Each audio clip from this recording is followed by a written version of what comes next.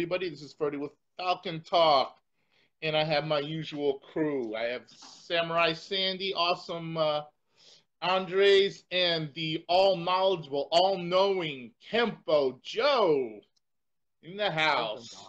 And Kempo's, uh, Kempo Joe is um, with me live here, and I have uh, Sandy and Andres um, on Facebook chat forum. And uh, Andres, that like your new cut. You look like a freaking uh, Shaolin uh, monk. All you need is those little holes on there, you know, and, and, and, get and get the uh, get the robe. So, uh, how's everybody tonight? Doing good. Better. Preparing for this tropical storm that's coming. Yeah, well, we got part of it today here in Jersey. Yeah, it's been raining really bad here all day in Pennsylvania. Yeah. Mm-hmm. So, anyways, uh, tonight, tonight's topic is different types of martial arts schools, and um, and I'm not talking about styles, but I'm talking about types. Okay, and like uh, for example, um, my first uh, type of schools is what I would call the uh, traditional martial arts school and usually the way I look at it, the traditional, you know, um, they they do all the the traditional bowing, traditional um, terms. Usually, uh, the traditional school is probably some the the owner is someone from the old country. Not always, but usually is. And um, they do the whole gambit. They they do you know the uh, teach the values. They teach, um, I guess, the philosophy you can say, and uh, everything's very t- traditional. Yeah. So, what do you guys have to say about anything about the traditional schools? Who wants to go first? I I like the traditional schools. It feels like not only are you training in an art, but you're bringing the history to life because you're not taking out all of the um the how do I word this? I want to say the respect, but uh, that's not what I mean. Um, you're taking, you're not taking out all of the ceremony that goes that went into how the previous martial artists trained, how the previous technicians trained in this art. You're bringing it forward, so it's it's like you're bringing history alive when you're doing it. Mm-hmm. So I really like the traditional school. Yes. And yeah. what about you, Kempo Joe? Well, I mean, uh, like I said, I, I, I teach I teach traditional classes, I teach classical classes, I teach modern classes. When I'm doing a traditional class, you know, we we, we like in jujitsu and in kobujitsu, you know, we, we speak in Japanese as well as English. They have to learn the vocabulary and terminology. Um, they have to bow, you know, tra- traditional, we say reishiki and kokoro, uh, uh, etiquette and courtesy. Uh, again, they, they mm, bow to there. a kamiza, uh, traditional shrine. They bow to each other with proper courtesy. Uh, the terminology all is in the indigenous language of that particular country. So if you're doing jujitsu, you speak, you're learning Japanese. Uh, if you're mm-hmm. learning uh, certain kung fu systems, Mandarin or Cantonese. Uh, again, you know, I, I, I had learned uh, uh, actually most of my Korean training, ironically, did not utilize a lot of Korean, all things considered. I mean, you talked about the Pumse or the Hyungs, but uh, a lot of it wasn't wasn't said in Korean, you know. Mm. Um, But like I said, that's what they learn the culture. They learn the culture. Yes, yes, definitely, definitely. You learn the culture. I always say, especially, uh, I think um, with the Filipino culture, one of the vehicles of bringing the Filipino culture to um, other people has been the Filipino martial arts more than anything. I think the Filipino martial arts has really um, uh, piqued interest in um, the people with um, their culture because sometimes you wonder you wonder like why is this this way why like last week I, I got a laugh at last week when when uh, Joe was talking about Wing Chun and ta- um, talking and showing um different, you know, with the front and the back, what he called the anti-bang techniques. Yeah. From It's its funny, but it's true. That's what, it's True. great. It's great. It's great. Going, we And were then going through. thing- No, sorry.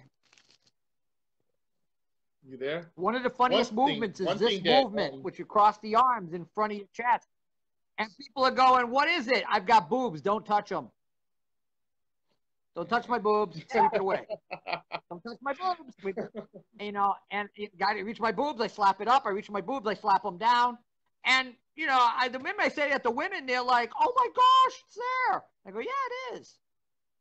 But we don't think about it in that context. So it's sad that so many times, because of sometimes the traditional or classical orientation of certain classes, that we're we're so used to learning the classical orientation that we we fail to lose we lose the humanity.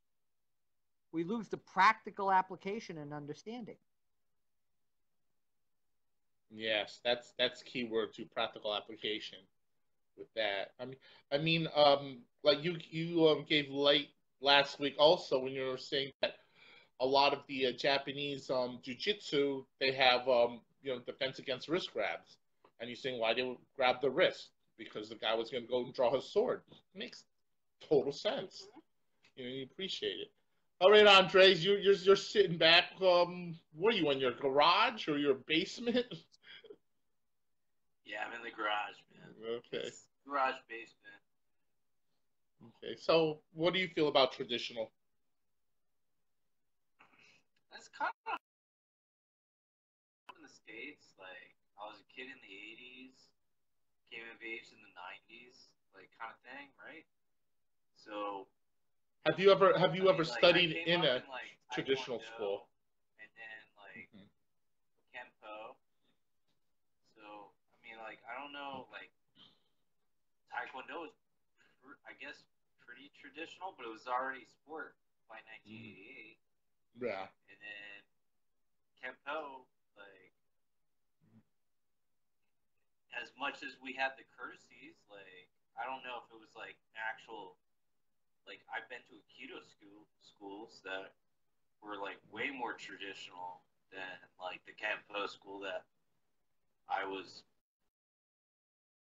12 years old. Say, Good Sandy's- okay, Sandy's- on school level. Sandy's dojo that she's And, um, referring I, to, I think I would actually say it's beyond traditional. I'd say it's classical. I've been to that dojo. They run it very classically. I mean, Oh, when, yeah, you, when we- you go into we- their training, you watch they operate their classes. you've been there, it, it's very. I mean, I think it's beyond traditional. I think it's very classical, like you what you would learn at a classical Japanese dojo. And I was really impressed with that. I was like, wow, you know, I mean, the history and the notifications and the understandings of of the history and and uh, I mean, you know, you walk into that dojo. I mean, it's a museum. All these incredible photographs of all these different uh, um, uh, Japanese masters and different kodu or old oh, it's, school. it's, um, it's a nice dojo.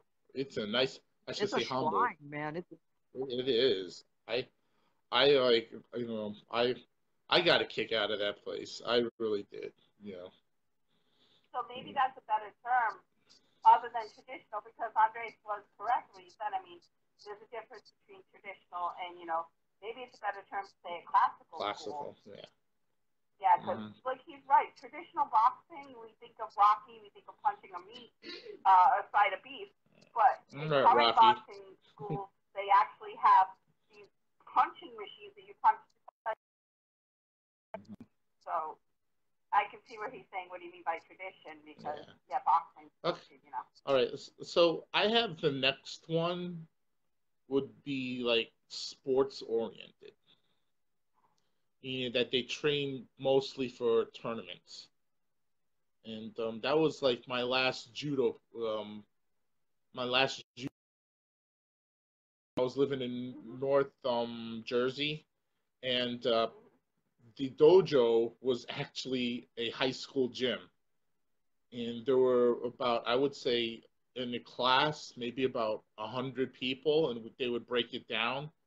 But the um the sensei Clyde, geez, I forgot his last name, who was national champions in the U.S. in judo, and actually he was training a girl who was an aspiring um, Olympic um, judo player, and this was back in I think 2000 was it 2008 or 2012? I can't remember. Um, and the girl was actually um, her father was a, a, judo champion in the Olympics. You know, and this this guy he Was he Alan totally Cohen by you any know, chance? huh? Was Excuse me? Alan Cohen by any chance? No, no, no. Um, his name was Clyde. Oh, geez, I forgot his last name. It was uh, that was it was the place was called Tech Judo in uh, North Bergen, um, New Jersey, and uh, the girl that he was tr- um, training to go into the Olympics was a girl named uh, Tony Geiger, and um, for some reason she actually placed um, she was a third runner up on the Olympic trials. Oh. She was heavyweight. She was a strong girl, very pretty girl, but very strong. And she was like, and she was the probably one of three girls, and the rest were all guys. And the way that um, Clyde ran it, it was, um, you know, he he was looking for um, the uh, players, the uh, judo players that he could um, take to um, competition. So he was kind of um, more of a like a wrestling coach than a uh, judo sensei, but he had other senseis with him there, you know, and um, they would teach too. And it was it was like you had high school students all the way to um, seniors. And when I was in that school, I was about like forty. I was in my um, early to mid forties. I was there for like three years until I moved down here. Yeah, but that was total competition, total, you know, and and that's what he the guy was looking for. He was he was like scouting to see who he could bring to um, tournaments, and they would actually uh, host tournaments at that school in every February. And you you had a you know all um, the top judo people from uh, Jersey going there. So so um, that's what I experienced from what I call a sports oriented school. I don't know if anybody else had that experience like that. Oh, sure. I um Yeah, I for don't me it was mind Taekwondo. going into um schools as long as that's what they um advertise themselves as. Yeah, that's what Yeah, it was.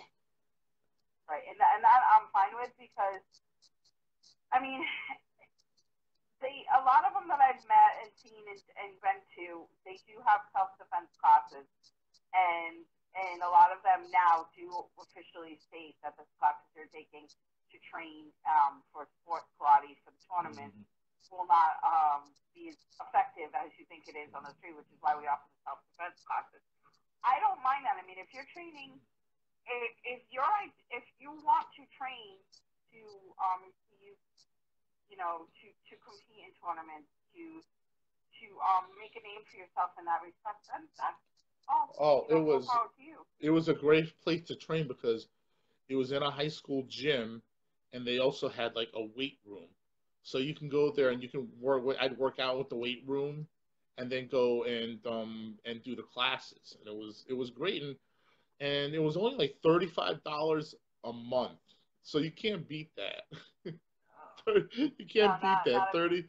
Yeah, because the, you know was no really the, the guy teaching there was really no overhead because not only was he the judo sensei, but he was also the math teacher there too because it was in high school, so he was a math teacher there. So you know, he, so that that's why he was able to um, get used to that.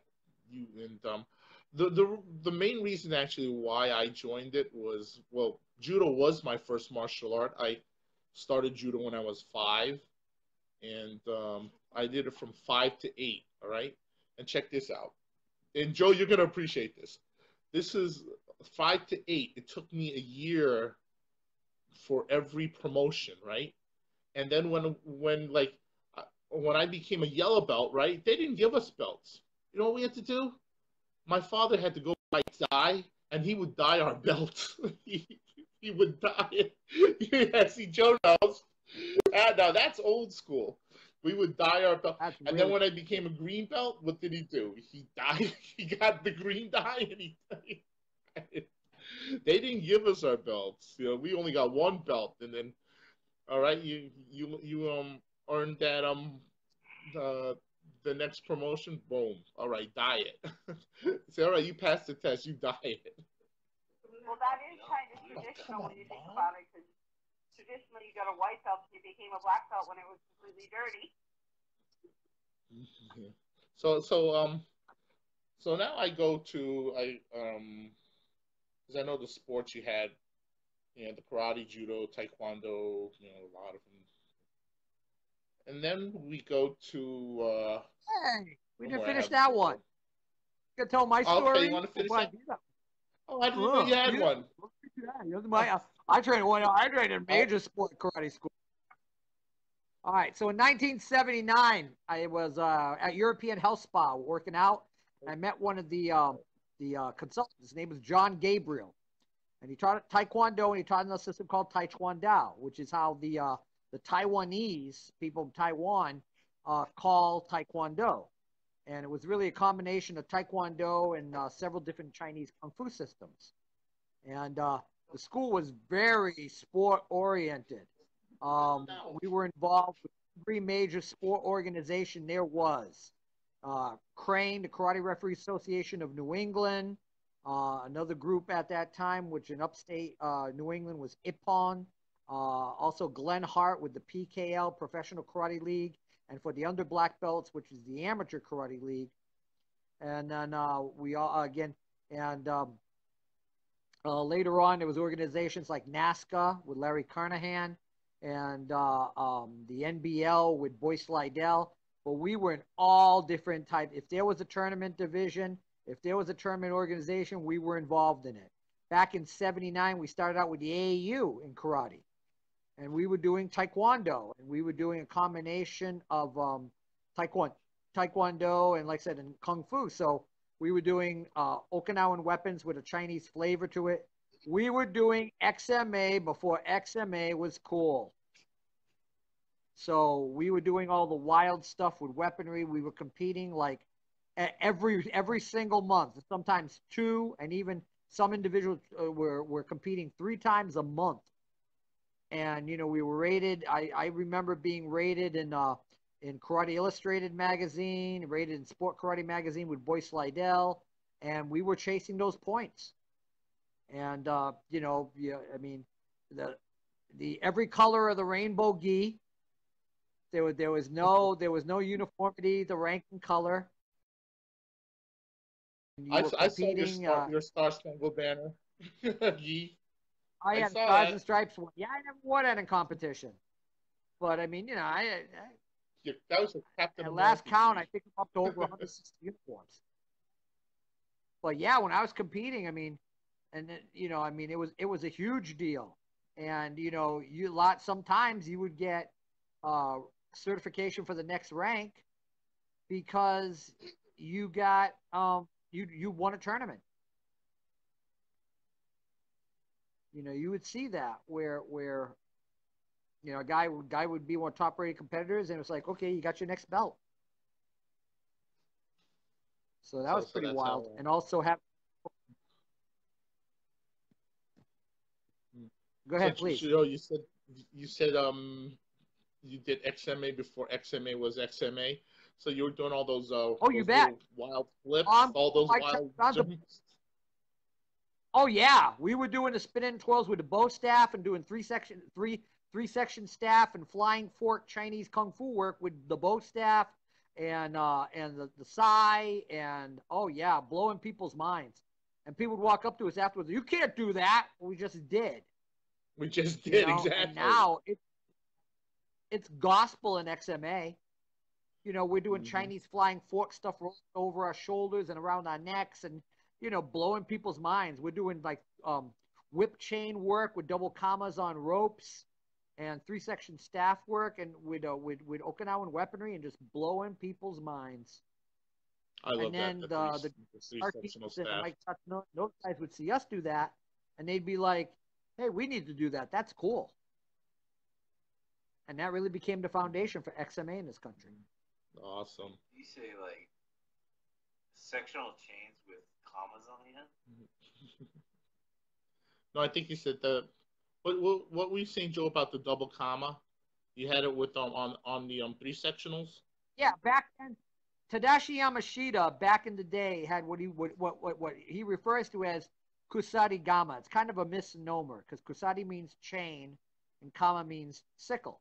But he would do them with ropes. He would do them with ropes, and he would do nunchaku like movements with these kama on ropes. So what we learned, we learned like whip chain and three section staff work. So we would take these Chinese figure eights and these Chinese flowing movements and these elbow twirls and these around the neck twirls and turning our heads, and we would put them in with the kamas on ropes.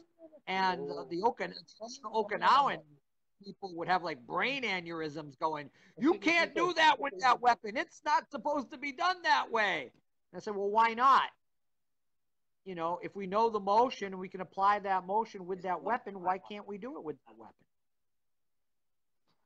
It's the And boy, I'll tell you, we must we must have caused major major heartbreak and, and rampant insanity among tournament judges. Either they give us incredibly low scores, or they think we're the best thing since sliced bread. Dyan muna. Wag Wow. ko, ano, dahil That, that's yung amazing. camera. Okay, watch. So, kama means sickle in, in Japanese? Yes, in Okinawa, yeah. Because kama in then when you Filipino means, means bed. Oh, different languages, right? So, Oh, that's- bed, kama. Yeah. C-A-M-A, comma, means bed in Filipino. When you add to it like a sickle and chain, the K sound switches to a G sound. So kusari Mhm. gama. Yeah. All right, so let's go to uh anybody um ever um experienced uh, an MMA gym? Have ever, anybody ever trained in an MMA gym? Now, one of them, one of our friends who um, used to come on here, Vic, he owns a gym. He owns a oh he owns this place called Southpaw Gym, where he's got a big um boxing ring on there and. And he teaches boxing and stuff, but he's also teaches FMA and Silat he's more of an FMA and Silat guy, and he's he's a retired CO corrections officer. Got a beautiful, beautiful gym, and, I, and um, uh, I I actually taught a seminar there um, last February. Beautiful gym, nice. I mean that's the closest I've ever came to. Um, if you would want to classify it as an MMA gym. But uh, you know, well, MMA, uh, and usually what they what, what do they train in MMA? And Muay Thai, BJJ, boxing, wrestling. Those are the arts that usually get at an MMA gym. Right. So I think a lot of the MMA gyms, like, and I I have trained in, in an MMA gym. However, Susunod ako. um, I will say that I was not training in MMA, but I, I have witnessed like those gyms. Um, usually they break down their classes into Mm-mm. grappling, striking. Um, you know, and they separate those, and then with people that want to do the whole MMA thing, like, or somebody that's trained to go into a fight, will um, combine them. Um, and I've have have sparred with some MMA people, but Now, what think, like- what were you doing at an MMA gym? What were you? You said you weren't training there. You weren't training in MMA. Um, you were training in something else. What were you training there? Well, so I was training Brazilian Jiu Jitsu at the time, and then it came to a point where, you know, I was I was working at night, but I was training in the mornings uh, with a with a just doing the morning trainings uh, with these people, and um, it, it came about like somebody needed a sparring partner, and we just put on some MMA gloves, shin pads, and headgear, we did striking and grappling at the same time. But I they did put people in MMA fights, but I wasn't studying MMA at that time. Just, just BJJ. Yeah, I was just doing jiu-jitsu It's part of it. at that school. Yeah. So I don't know, like, is there an MMA school or is it just Yeah, you have MMA schools schools. putting You have a lot of them. Yeah, I have one in town, the town that I live in. Yeah. Mhm. You have an MMA school there? This is almost showing my age. This is almost 20 years ago now, too. So You're the baby. See, things might be different You and now. Sandy are the baby. Oh, thanks. Oh. um, see, my understanding of MMA schools, um, the way that MMA has changed so much over the years and how the rules have changed so that there could be um, less injury within the, um, the octagon, that you can now officially state there are traditional MMA schools who teach the way it was taught when MMA first came out, where almost no no rules, no holds barred. And now you have the more um, modern MMA school, MMA school that is teaching the art based off of the rules. Oh, you mean when when Not you have, when UFC first came out? Yeah, yeah. Yeah, where there were no um, there were no uh, well they did have I don't know did they have time limits? I know that there was no weight divisions Oh, there- and you could no time like, two, limits, four was nothing, no holds barred. That was Everything the was best. clear. You just couldn't do uh, you just couldn't do eye gouges or fish hooks. No That's- fish hooks. Yeah. And now it's gone the way of there have been so many rules added to it for um, less injury, which understandable. hmm Um, but so yeah, now you can actually classify um, Yeah. those are my major things as well as traditional and the more modern that go based off the rules. I, I think with the MMA, when UFC first came out, I, I think the good, in my opinion, in my opinion, is that, you know, people had to realize that they had to be more of a well-rounded um, fighter. They had to be more of a well-rounded martial artist. You can only you couldn't only be a striker. You, you know, you had to learn some um, some groundwork. You know, some grappling groundwork um, you know, um, you had to learn also how to do um, locks, you know, submission holds, chokes, and all that. So I think um, I, I, that's what I see. You know, what UFC did. I know that the when UFC first came out, the main objective of UFC was to show that Gracie Jiu Jitsu um, beat everything. That's what it was because That was who a, because who who um who um belonged to it belonged to the Gracies. It was uh Rorion who um started that. voice. No, it was Rorion. Rorion was the one that ran the the organization, started, but it was Royce that did all the fighting. Know. I don't know, but I will say on record, like I think any Kajukenbo like guy that like trained hard in Kajukenbo would have done well in the UFC. The beginning of it. Yeah. Yeah, there's Kajukenbo, didn't it? I mean, like, Well, they, they What- what you had, karate, right? boxing, judo. They had doing anything remotely close, like was um, Ken Shamrock, like doing the shoot fighting. Kajukenbo was like they did everything. Like I don't know, Kempo Joe probably talked more about Kembo than me, but from what I know about Kembo, he came from Hawaii. oh, that was badass shit. That, Jiu-jitsu yeah, no, had judo, had boxing, had karate, he had kempo, and uh, who the the last surviving um founder was Emperado. Used to say that you know he was um one of the five. Emperado.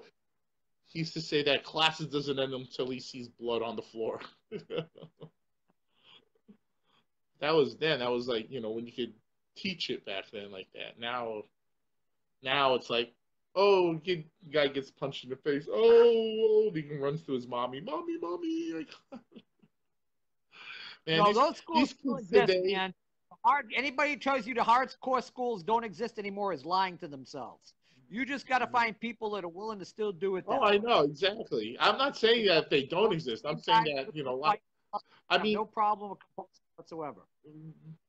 I mean, back then, like, all right, so I like I said, I started judo when I was five years old, right? So at the end, we had, end of every class, we had randori, and we were like getting thrown around. We were like, you know, kids were throwing, we were really fighting. Oh, kids would get hurt. I remember, um, I, I had sprained my ankle at a competition, you know, but still, we still fought. You know, we didn't run. I didn't run to mommy and go, "Ooh, mommy," you know, not like now. And then, and I didn't get a particip participation trophy either. I got third place, but it was it was third place. It wasn't a participation uh, trophy. You know, it was one of those trophies that you earned, and I did that with a sprained ankle. Well, I had fun. It's just a little about um a little background of like um when I did judo, right? So I come from a uh, um a military family. Um, my father was in the Navy, right? And my father, I grew up mostly in um you know I was born in Connecticut, and they have a um a naval base there, um Right, Groton. Sub Base. Yeah, that's like, and I mean, I practically lived on there. I mean, used to go there all the time, you know, you know, get groceries. So they had this thing called um the Dulcum, and the Dulcum was a place where I took judo, right? And I think you know the the cost was very minimal, but the thing was like I couldn't go around in school saying like, hey, I'm a badass, like I'll do, because like. 20% of the people that went to my grammar school went to the judo school because you know they were all navy navy families so the thing was like if i had a problem with somebody they'd say all right i'll see you tonight at judo that's how that's how we ironed out everything and there was these these two kids that I'll never forget david and bunky they were brothers and I, I happened to be, I threw both of them. One landed on his head. well, you think two weeks later, they both show up at the judo class, and then the one kid becomes like uh, my close friend. Actually saved his life. He fell um, in, um, in an ice pond, and I pulled him out. Wow. But that was like, you know, that was, that was. I mean, those days, you know, we'd get injured, we'd get through it, and everything that we got, we earned. I remember I'm like, you know, I'm eight years old. I'm choking out somebody, you know, just to get my green belt. I had to choke somebody out, right? Eight years old, and then they didn't hand you a green belt. All right, go get the green dye. You have to dye your belt. My dad taking my yellow belt, dyeing it, and making it green, you know. But those were those were the old days. Those were the fun days. Back when I was a kid. I don't know if you ever experienced that, Joe, that you had to dye your belt. No, that was I. I came in on the tail end of that. So I was at the- the first commercial school I ever trained with was the United Studios of Self Defense back in the early 1970s. So they already had the belts there. Um, my dad actually went through that a little bit. He trained with a gentleman who taught uh, Kyokushin and uh, Shotokan in New Bedford. So, but Yeah, uh, he but I- got he got in on Yeah, early seventies. That was me. Seventy. When did I start judo? Maybe like 1970, 71. Yeah, I was five. 70. Yeah, it was 1970. I was five years old. Well, you know, you were talking about Emperado, and uh, Osmond was mentioned about uh, Kajukenbo. You want to see what real Kajukenbo is? You go watch up the TV series Fight Quest and look up their Kajukenbo episode, and you'll see old school Kajukenbo who is still doing out in Cali. And it's like if you can't hang, you can't bang, you don't stay. You know, it's like goodbye. You know, um, uh, but, Joe, uh, what's yeah, what's uh, the name of your uh, your YouTube channel? Because I'm gonna put it on Um, my uh, thing. It's, I mean, you can just punch in Kenpo Joe one with the number one, all one word. But yeah, Isn't- we talking about MMA. One of my students, huh? Isn't it martial arts TV? Say again. Martial Arts TV. Isn't that no, that's my show? TV show. Martial Arts Today TV.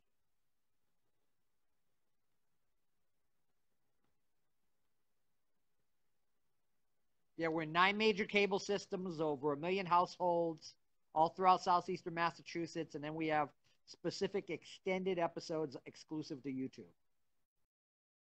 Right, but your your YouTube channel is Kenpo Joe One. Yep. Yeah, that's the I'm channel. put.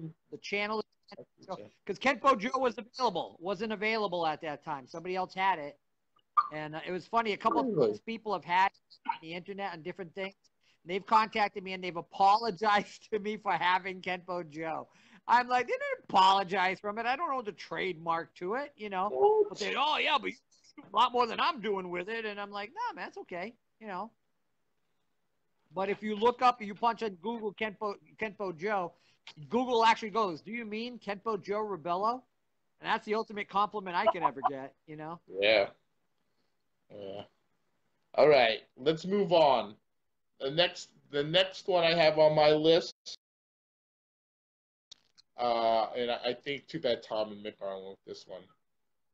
The reality arts, the reality based, the reality based uh, self defense.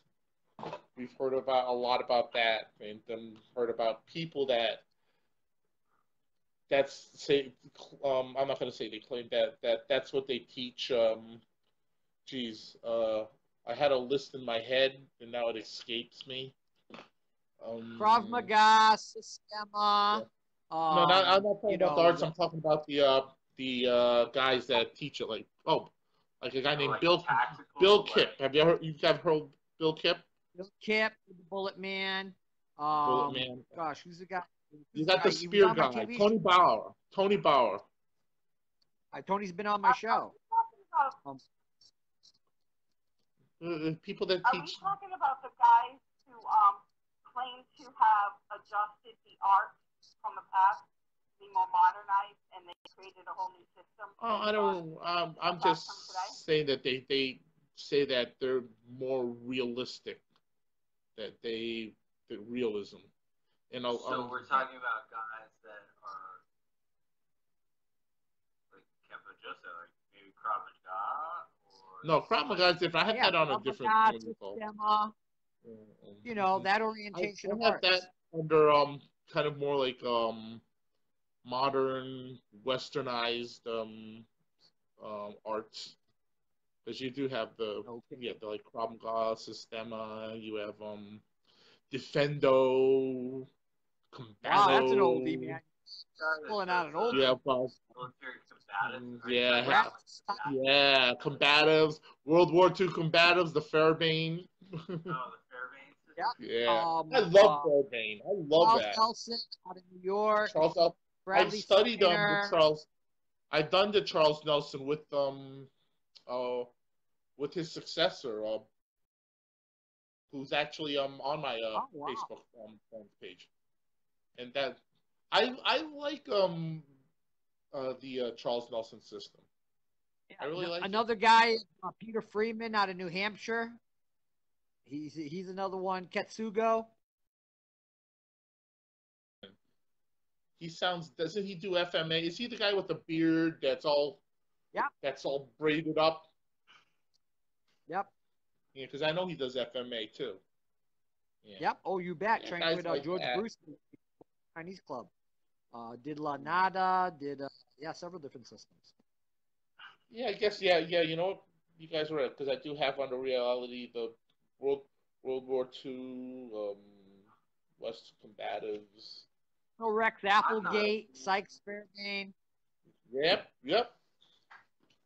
Applegate. Right. But And uh, my I mean, favorite phrase is "You'd rather be tried by twelve than carried by six. I love that. oh yeah, we always say that all the time. That's um, that's what my uh, cop friends, my best friends, uh, law enforcement, always said that. You know, they're, you know, better to be judged by twelve than carried by six. But I love, love that. I love the uh, World War II combatives, and uh, oh, this is what I. You got to check this out, right? You could find a lot of a bunch of World War II combatives on YouTube, but I found World War II combatives like what the Germans taught in World War II. I, I found videos of that on YouTube. It's just awesome. Is it really good? Yeah, it's pretty good. I even downloaded it. Well, Ferdie, But you he- remember that guy who did uh, Virus Jutsu from uh, that was listed in um, the Sherlock Holmes uh, books. Oh, Edgar Bartitsu. Rice Burroughs.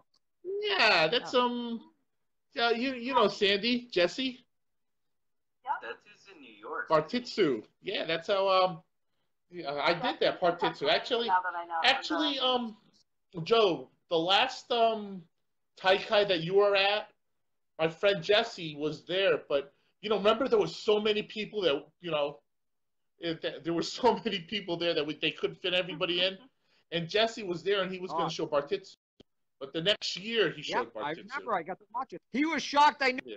He came what in. it He was. came in in his little Bartitsu. Yeah. Yeah, and the He whole came in his little. Yeah, it Bartitsu was great. It thing. was, that is his gig, man. That's how he has it. No, no, does, the, the year after, the year after, um, he comes in and he's got like this little like um vest on and the Bartitsu thing like that, and uh, Dr. Fabris goes, "Whoa, look at him! This guy's all dressed up." But yeah, Bartitsu, that's fun. That's that's a that's a lot of fun, and uh, I I gained an appreciation for the um the uh, scientific pugilism. You know, they the way that they people used to laugh about that. Realism. But you know, if you think about it, there's a lot of um uh, relationship to like th- this is like the chain punch in um in Wing Chun. So, Or Xing Yi, another one with the uppercuts, Yep, yep. reversing Yep. forward and back. hmm Oh, that was that was fun to do, Bartitsu, because everybody would dress except me. I never dressed up, you know, but and uh, I I also uh, Ano- through Jesse, I trained uh, trained with a guy. Um, oh, what was his name? Who was uh, really um, uh, an authority on Bartitsu. Oh, uh, Professor Mark Donnelly, really cool guy, really cool guy, and he he uh, he um really knew his stuff too. And, and Bartitsu, it's a it's it's a fun art to do. It's, it's like one of those fun arts, you know. for the another for that kind of boxing, look up a book by Jim Driscoll called Straight Left. Um, it's a really great boxing manual from like the early 20th century, like old UK boxing. Straight Yeah, Straight Left by who? by Jim Driscoll. Driscoll. That's Okay. that's old school um, British boxing. Yeah. I'll say like you know a lot of people God Krav Maga, that's some badass shit. My my my um friend that like is a My- my uh what do you call it? my um into it. And- my gun disarms. Most of my gun disarms come from Krav.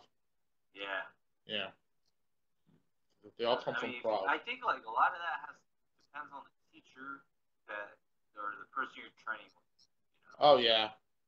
I mean the guy that taught me um did Krav also and he did uh I mean my teacher did my teacher's like um like uh Kempo Joe, he did all these arts, you know, um uh well that that's another topic. I don't want to go into that, but but I love Krav.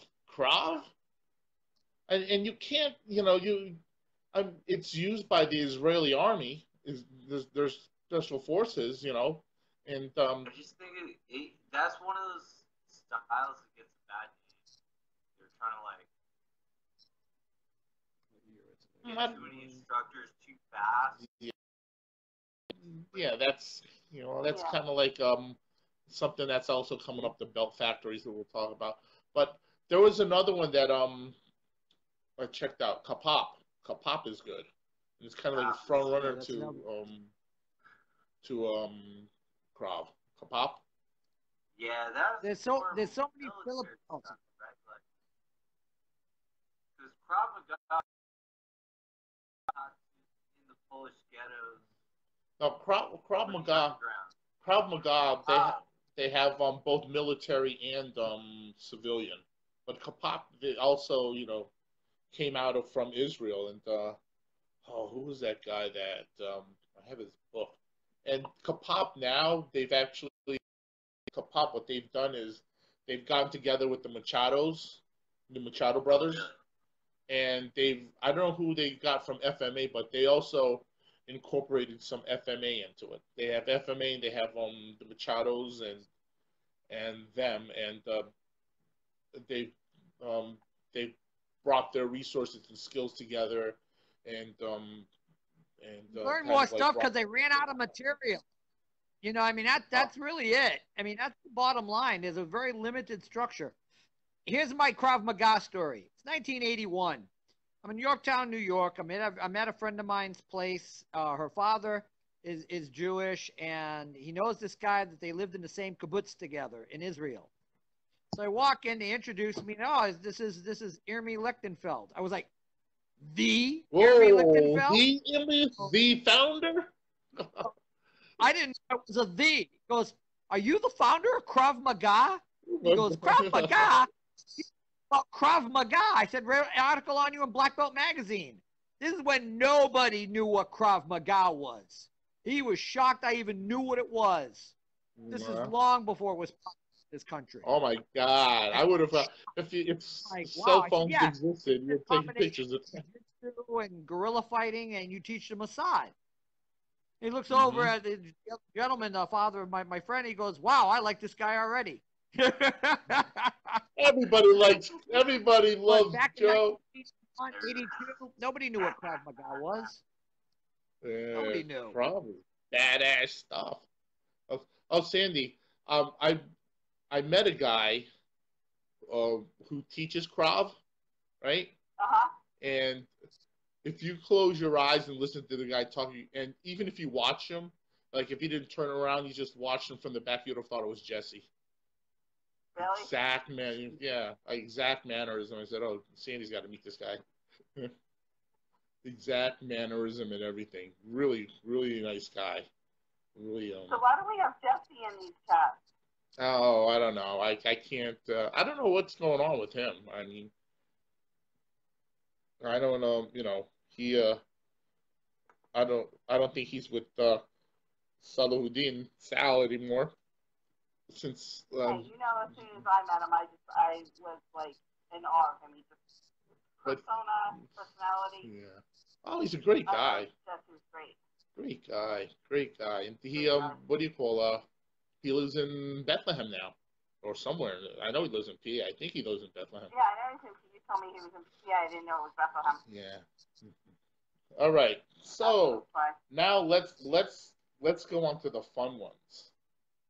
All right. Belt factories.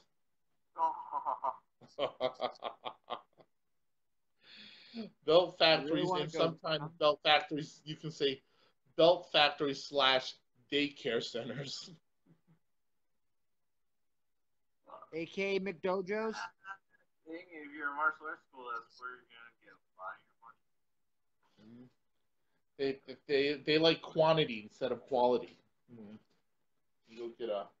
Well, Well, it's Who back wants to to the take- almighty. who wants to take that on? Who wants to take that one on? A lot of people do. It's easy martial arts. Become a master of the partial arts. Little Johnny and little Susie gets a gets a stripe every two to three weeks. Little Johnny and little Susie get a new belt, new pretty belt every every two to three months. You know, little Johnny or little Susie can't do anything wrong. They're so good they defecate ice cream. Wow, I love ice cream. Yeah, I wanted to catch it before you drank that, right? you didn't want to catch that. I didn't want to see you snarfing water out of your nose on chat. Yeah.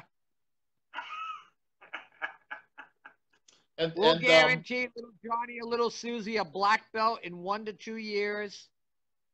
and know. multiple trophies, participation trophies. Oh, you bet. You bet. It's the nobody sucks in this place locate, you know, tournament, you know. Somebody I think it was Leo Leon um Majors. He posted something and I had and I saved it. It was a picture of this um sensei giving this uh, eight year old a black belt and saying congratulations. Oh, I know that. Your mother's check cleared. check cleared. Yep, stereo were available, man. Oh, And the sad part was the picture an actual black belt test. That was the sad Yeah. part I know that he was that, giving that it to like sad. an eight-year-old a black belt. And not and you know what? I'm I'm a firm advocate in junior black belts and apprentice black belts and different Mhm. levels according to age brackets and abilities. In Japan, they don't it's very rare they give junior black belts. You know, they they're like, you know, they're they're not caught up in it. They don't they don't worry about it, you know? Um but here it's like you know, I got my black belt and a side order of fries. It- Joe.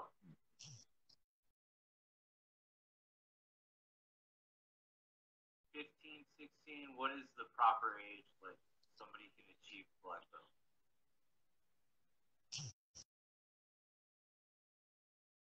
That's that's a that's like That's a good question. it is a good question, but you got to take that on a case to case. You know, because I went to this I, um I, I, I went to um this thing called Battle of the Orient years ago, right?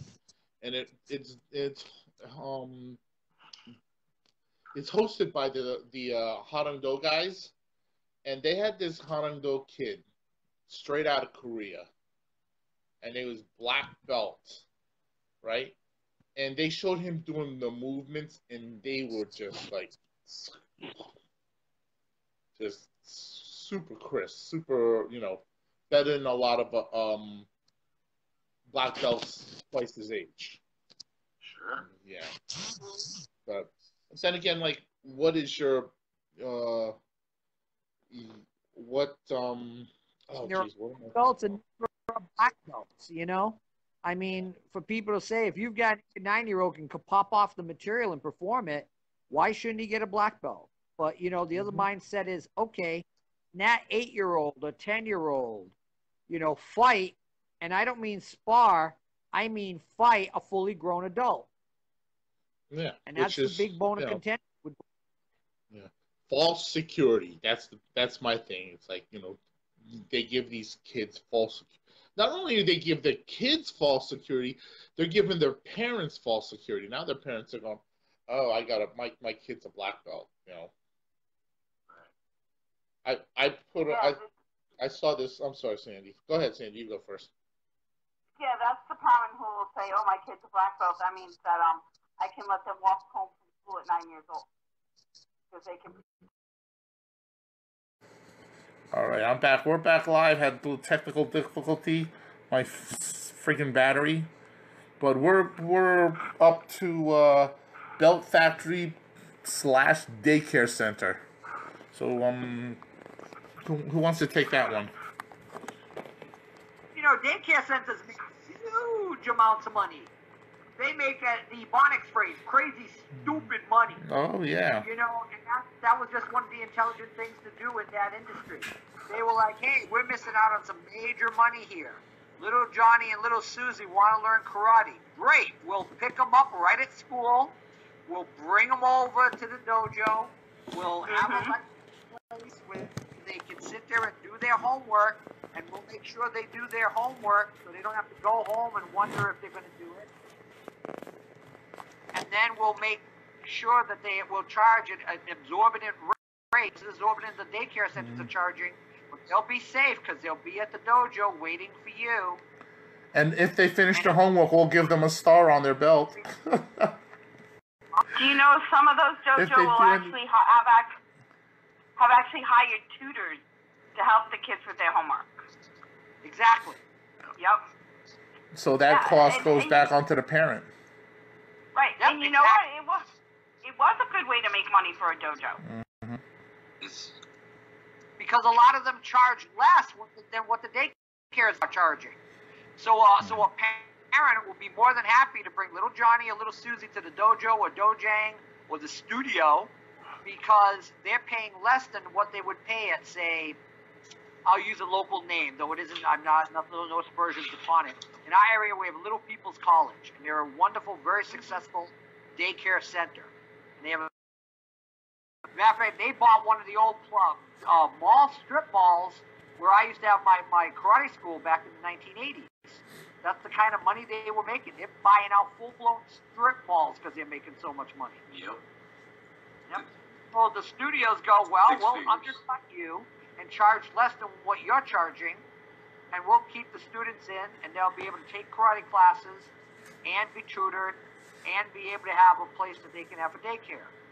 Mm-hmm. So little, little Johnny and little Susie are now caught up in the in the whole ambiance of this, and not to mention, hey, hey, we've got our specially written up minivan that will pick little Johnny and little Susie up at the at their school bring them to the dojo.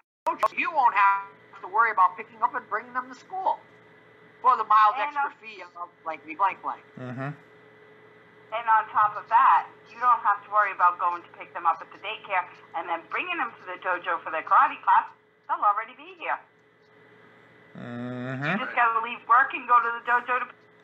Mm-hmm. and you're going to be late, not a problem. We'll take care of your child for X amount of dollars for every extra hour. I'm telling And you, and man. and we'll and we'll teach them responsibility. You know, we'll have them clean the dojo. We'll have and we've got the paperwork to show it. me Look, washing little windows. Susie and little Johnny's got to bring home their paper, and they've got to make sure you, as a parent, got to initial it. They've got to clean their room. They have to brush their teeth.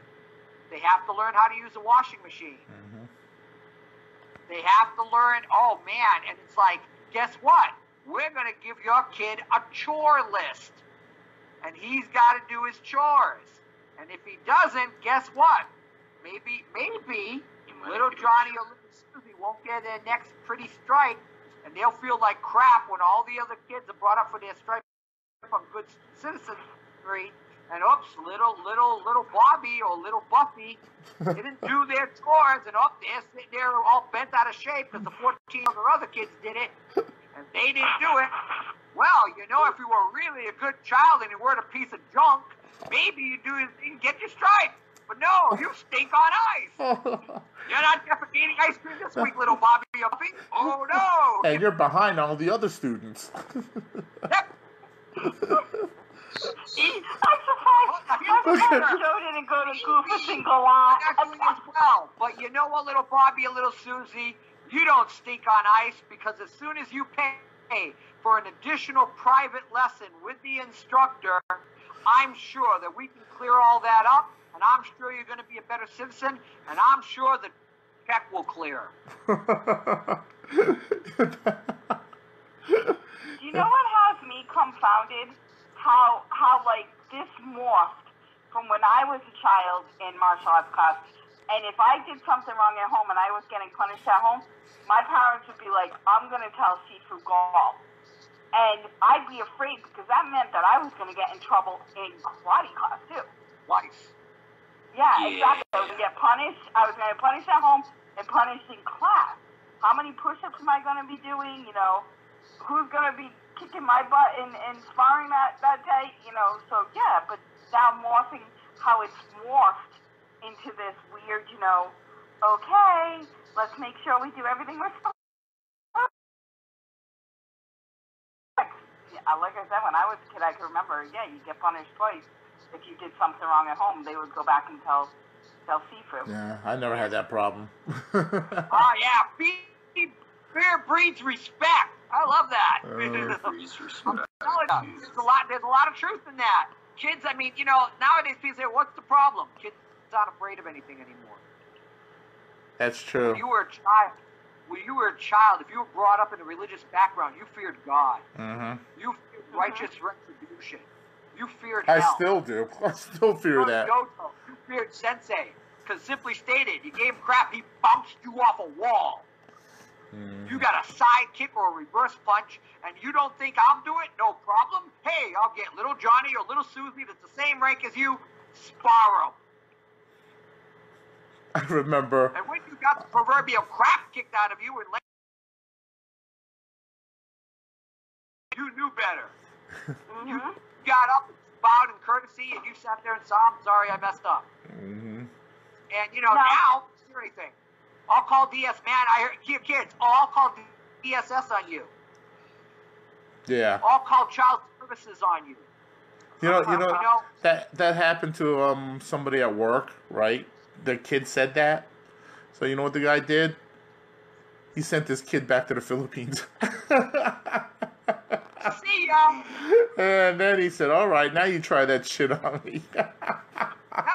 Guess what? You're going home. oh, sorry. my. You spell third word country, country at this. Oh no, they would go home. They and they, they they would punish him there. You know, like I mean, guys, when I was raised, man, my father took out that belt. He whipped it out like it was a freaking samurai sword. you know, and you feared it. You feared it, but I didn't. You know. But, Here's okay. Here's the trivia question for tonight. Name two famous martial artists that were kicked out of their own countries because they had a bad attitude and it was sent was sent somewhere else. oh, really? I don't know. Anybody? Wasn't Bruce, Bruce Lee Lee? kicked or not allowed back? No, Bruce Lee. Bru- Bruce Lee was one. w- Bruce Lee. I from what I heard, it was his father that brought him back to America. Or brought him to America. No, Bruce Lee got kicked out because he was 'cause a punk in a gang. Oh, really? Yeah. Bruce Lee got kicked out because Yeah. he was a famous actor, and the chief of police for Hong Kong walked in and said, "You don't get your kid out of here. He's going to be dead or in jail." Mhm. Which do you want? One from column A, one from column B, and I don't mean a Chinese menu. So he technically wasn't kicked out. He was kind of like forced out. yeah. Yeah. They put it- That's why he was sent to America, and he was sent too sweet. And the only Mm. reason he was sent to America because he already was an American citizen. Yeah, yeah. He was born That's why here. he was Yeah. Yep. He was born in San Who's Francisco. Who's the second one? Who's the second one? Yep. Jean Claude Van Damme. Nope. I'm just joking. Um, I don't know. Oh, I know, I know. Joe Rabello. Nope. A lot more famous than me. Andy Lynn. Nobody can be famous than you. uh, Jim All right, I'll Reed. play the- Jim Reed's like a nice guy, so. Bing, bing, bing, bing, bing, bing, bing, bing, What's, bing, bing, bing, bing, I don't know. bing, Bing, some Bing guy? Chandler Bing? bing, Who is Jackie Chan?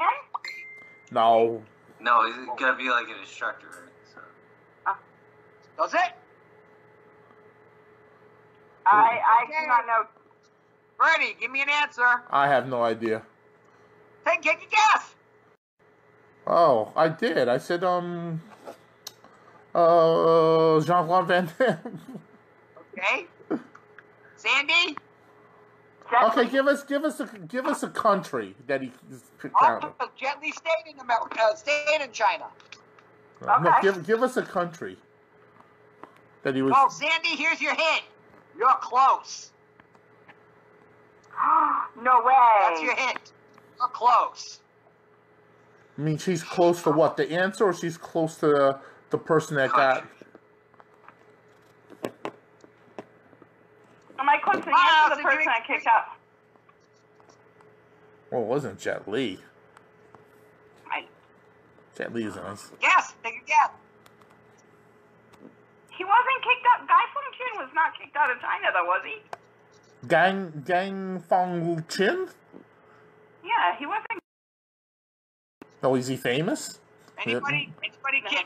Yeah, you don't want me to talk to somebody function. I got some. I got some really bad stories about that guy. Yeah, we'll do that Yeah, out, so off, offline. Yeah, we'll talk about that later. We'll talk about that later. Want the answer? I was surprised. Yeah, I what's learned the about answer? That.